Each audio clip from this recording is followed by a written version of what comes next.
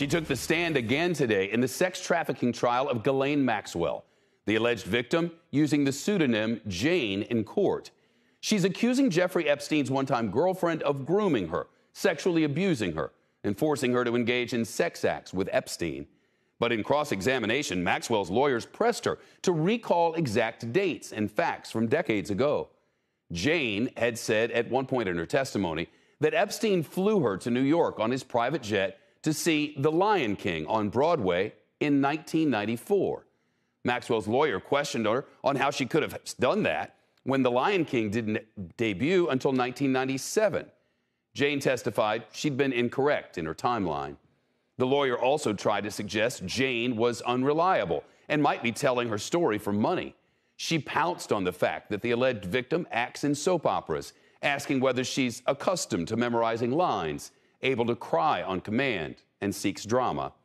The lawyer also questioned why Jane didn't come forward with all the details of her story much earlier. But Jane later testified I was sitting in a room full of strangers and telling them the most shameful, deepest secrets I had been carrying around with me everywhere. It was too difficult, too difficult emotionally, too difficult on every level. Let's turn to NBC News analyst Danny Cevallos. Danny, Jane is the first of four women scheduled to testify here who say they were groomed for sex by Ghislaine Maxwell. What'd you make of her testimony? Jane and the government have the same challenge that happens anytime you have a crime that allegedly occurred decades ago, and that's memory.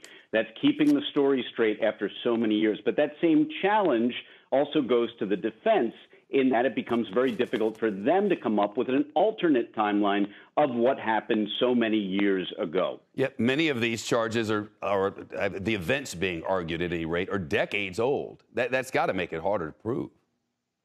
It makes it very difficult, especially when you date back to the early 90s. You don't have everything time stamped with text messages, phone records, emails, all the things that we would use today to put an actual time on an event.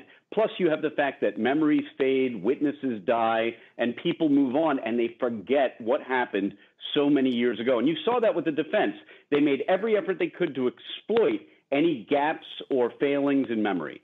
You know, Maxwell's lawyers are arguing that she's being scapegoated by federal prosecutors because they can't try Epstein, who's dead. Legally, is that a solid argument? It's called the empty chair defense, and it's used all the time. You point to an empty chair and say, you know, that's the person that they really want, and they couldn't get him, so they're getting my client instead. It really is one of very few avenues for this defense, and of course, they're heading down that way because they have to. They have to make Jeffrey Epstein the real villain and argue that Ghislaine Maxwell, at most, maybe met these girls, maybe took them shopping, but that doesn't rise, they will argue, to the level of committing the crime of grooming. Danny Cevallos, thank you.